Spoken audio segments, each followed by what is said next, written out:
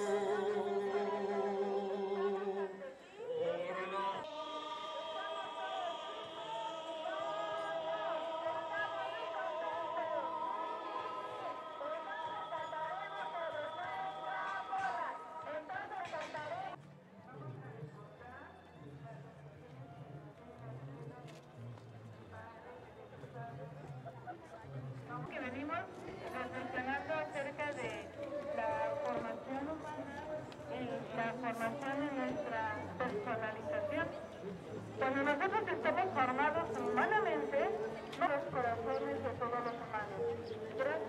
A la formación humana que tuvo de su madre, que tuvo de San José.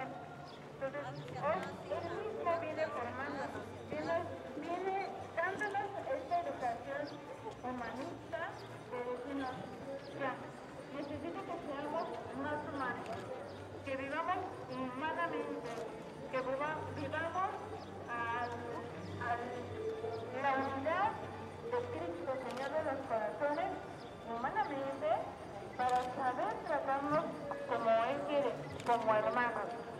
Dice San Juan, el que dice que ama a Dios, pero no ama a su hermano, pues no. Pero realmente, en su humanidad, mostró el gran amor que nos tiene. Pues contemplemos al Cristo Señor de los corazones, nuestro morenito sangrante. Eso lo que Cristo tuvo para amar a los para su propósito de nosotros. Entonces, eso tenemos que hacer, amar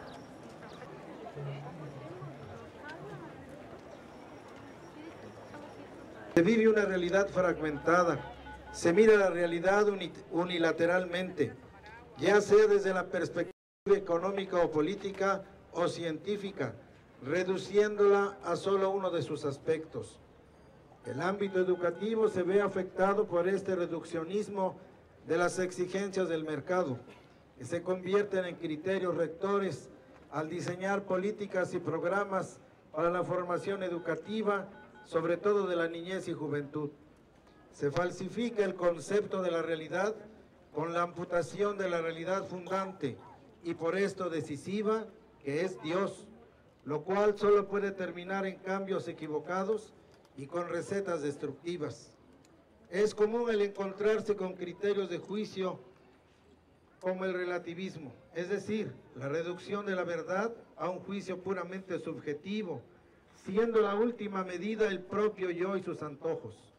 Entonces se hace difícil transmitir de una generación a otra algo válido y cierto, reglas de comportamiento, objetivos creíbles en torno a los cuales construir la vida.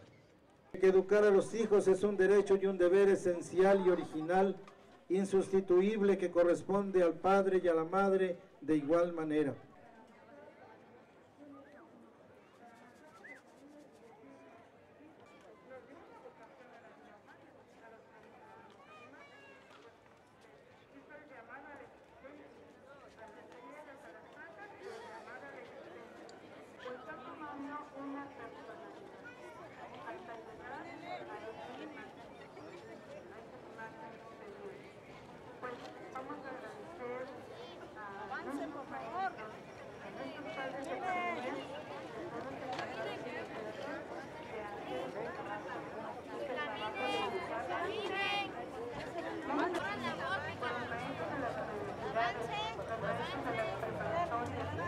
los maestros en las diferentes instituciones que forman la formación de los maestros en, en sus casas.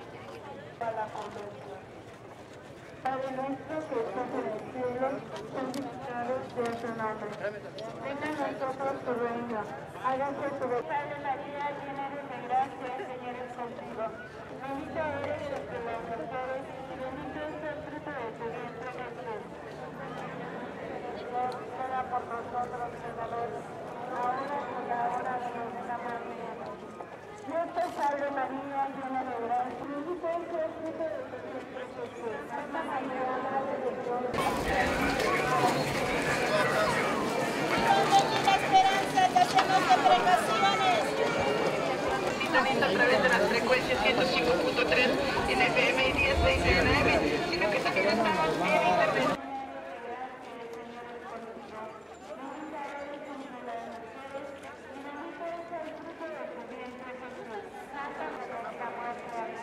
Dios te salve María, llena eres de gracia, el Señor es contigo. Bendita eres entre las mujeres y bendito es el fruto de tu vientre Jesús. calles, hacer una iglesia en salida. Y todas estas orientaciones se van a dar en esta tarde, que terminará, vuelvo a repetir, a las 12 de la noche. Quiero al Señor que un beso a esta imagen del Señor de nuestros hombres, cristianos. Pues sin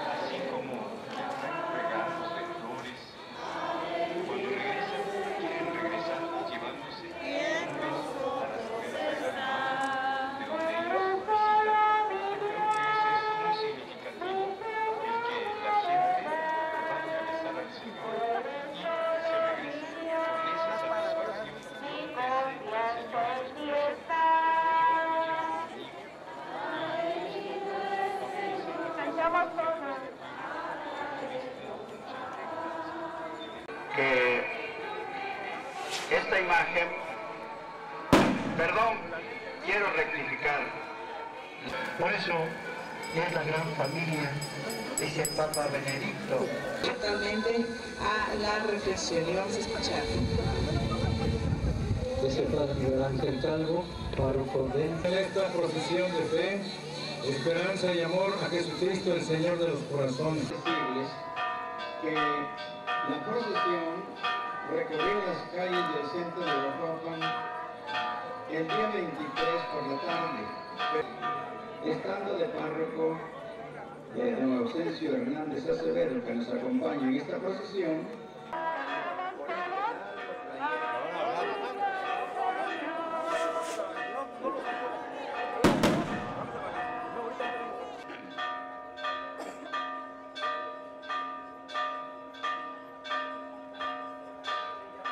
que nos ocupan esta estación es padres de familia invoquen al Espíritu Santo y para que no veamos a la persona de Cristo solamente Cristo, sino en íntima unión con el Padre y precisamente con el Espíritu Santo, abordamos esta realidad y la aplicamos a las familias. Si las familias invocaran al Espíritu Santo, sería distinto. Porque en el testimonio de Pablo en su carta a los Corintios, primera 12, al- los últimos versículos, cuando habla de los dones del Espíritu Santo, habla de la primacía del amor. Y la primacía del amor, pues da un entendimiento absolutamente en todos. Todos entendían a los apóstoles en su propia lengua. Qué distinto allá en el Antiguo Testamento, cuando los hombres quisieron construir la torre de Babel y no se entendieron. Los corazones desde la realidad del Espíritu Santo. Espíritu Santo, según las Escrituras en San Pablo, es el dinamismo del amor que se imprime en nosotros las personas. El amor, el dinamismo del amor que se imprime en las personas, ese dinamismo que el Padre imprime en nosotros y eso se llama Espíritu Santo. Por lo tanto, la vida, las personas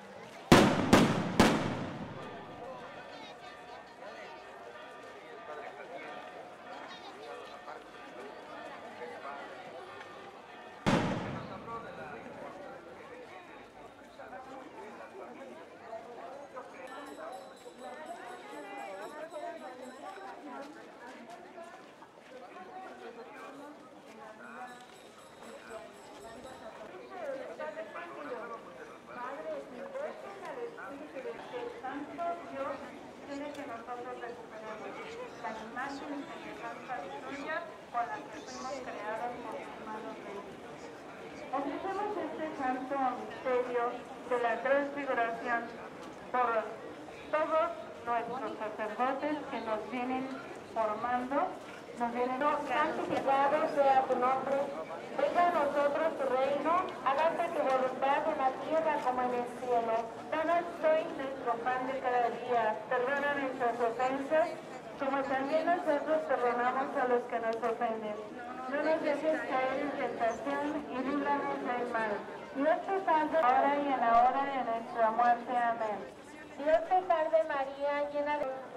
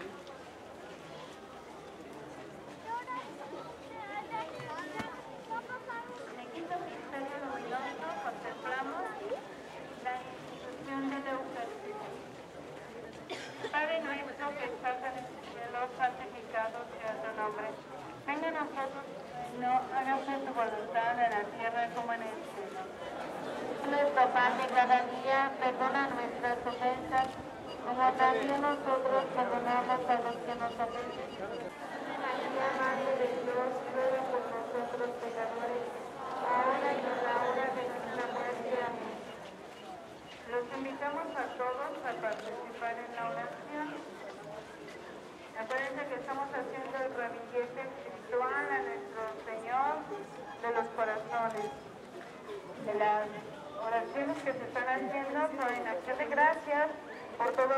dones que hemos recibido todos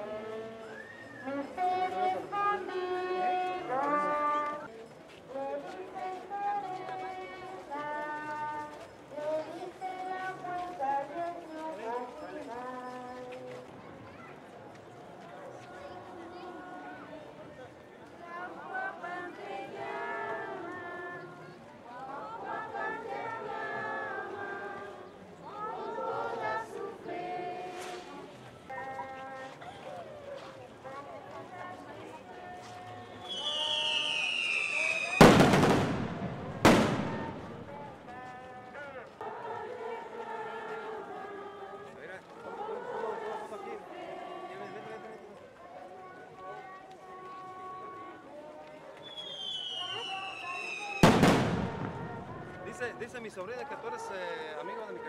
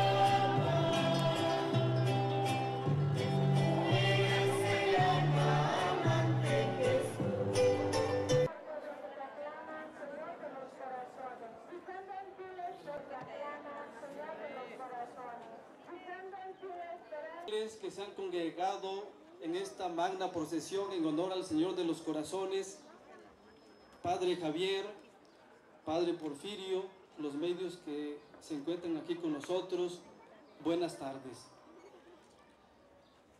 Solo en Cristo podemos encontrar la plenitud de los valores humanos. Ya se ha venido reflexionando que la educación es una actividad primordial de la familia. Sabemos que la educación nos humaniza y nos personaliza, es decir, nos hace más humanos, nos hace más personas. También la educación contribuye a la paz y al progreso y al bienestar de nuestros pueblos. Queridos hermanos, por eso la familia tiene un papel importante en la educación de los hijos, pero de manera especial nuestras mamás, que son las principales educadoras de los hijos. ¿Por qué? Porque son las primeras que tienen el contacto personal con los hijos. Desde que, la lleva, desde que los llevan en el seno materno, todos los cuidados del embarazo, en la primera infancia, en las diferentes etapas del joven, de la vida. Por eso la mamá tiene que ponerse a la altura, tiene que iniciar su proceso de conversión para poder educar con satisfacción a sus hijos.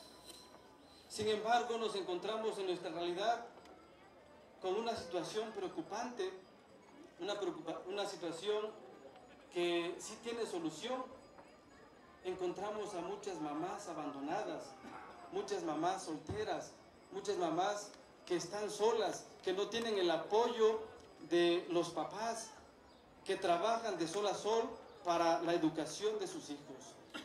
Queridas mamás que se encuentran en esta situación, yo las invito a la luz de la fe que no tengan miedo. Dios está con ustedes.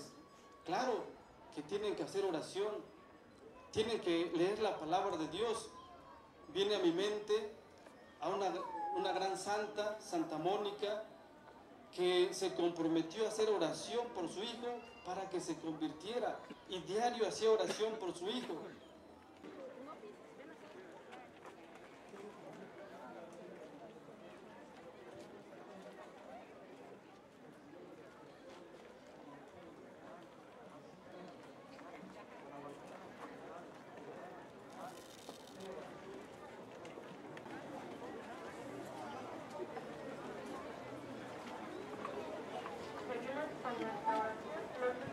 Estas son las reflexiones que nos vienen haciendo nuestros sacerdotes, pero es muy triste ver que no sabemos escuchar. Es Dios el que nos viene hablando a cada miembro de la familia. Acaba de hablar hermosamente a la mujer, especialmente a esta mujer que es madre, la primera responsable de la educación.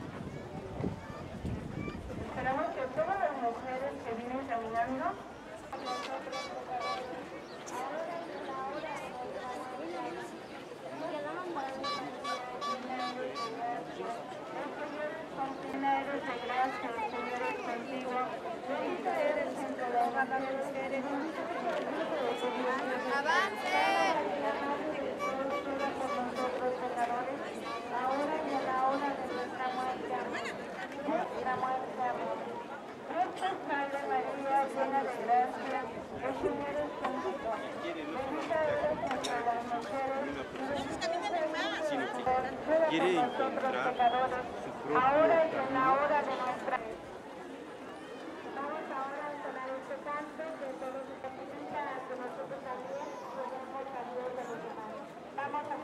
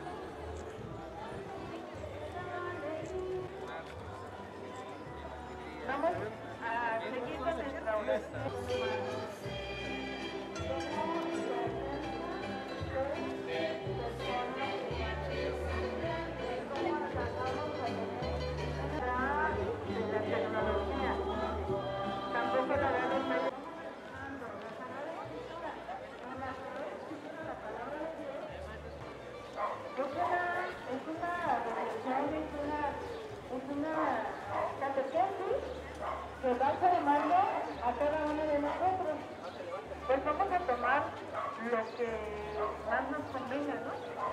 Todo, toda la doctrina que nos vienen dando los padres, pues nos queda muy bien acomodadita, como dice, como el, el traje que sentamos ante Jesús, sellando los corazones. Cuando vayamos a darle ese beso tan esperado todo un año, ese beso a esa imagen bendita que ya nos vea revestidos de ese traje hermoso que quiere que nos pongamos. Una personalidad, al hermano que vive en nosotros, que vive cerca de nosotros. Esa palabra que estoy ahorita, la guarde